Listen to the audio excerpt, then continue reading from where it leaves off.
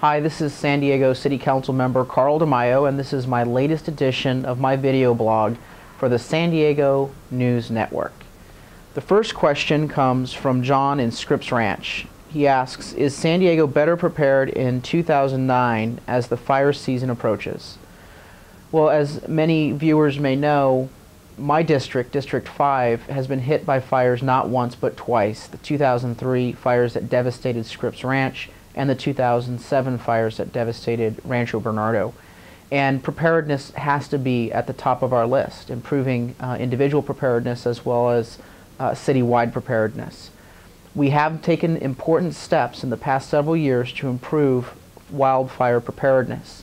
The city is making progress on clearing brush on the lands that it owns. The city has also added new equipment, such as another fire helicopter and new apparatus.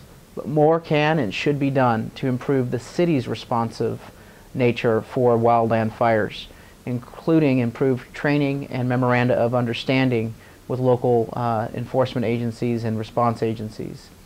I think another element that we have to always remember is that individual preparedness has to be uh, improved.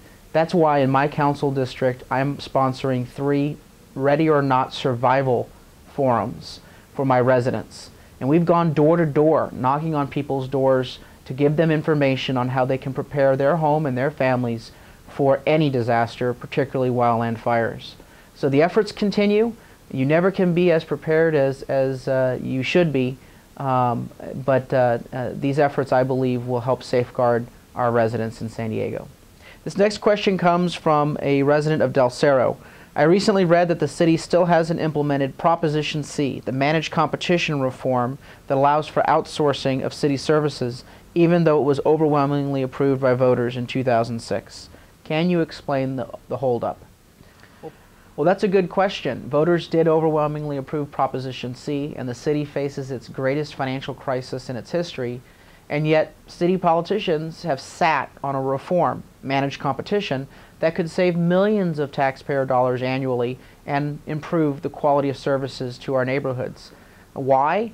Well, the power of the unions. The labor unions are extremely influential at City Hall, and many city politicians are doing their best to thwart the will of the people by sitting on the reform. I think it's uh, long overdue. I think the City Council needs to implement managed competition so that we can look at whether we can improve the quality and the efficiency of city services using the forces of competition. Think about it from this perspective. Uh, from a family budget or a small business budget, you would never provide a, a service or buy a service without getting a couple quotes from different vendors.